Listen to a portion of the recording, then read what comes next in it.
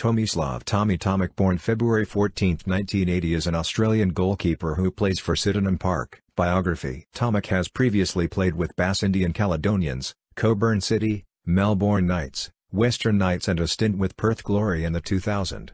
In November 2006 Tomich joined Perth Glory as a replacement for injured keeper Jason Petkovic.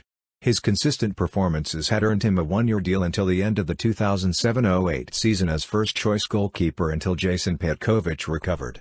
He was not offered another contract at Perth Glory and instead signed for local Perth club ECU Joondalup before moving to South Melbourne in 2008. In the same year he was loaned to Melbourne Victory FC in the A-League while Michael Theoklitos is injured and later to Adelaide United again for injury cover.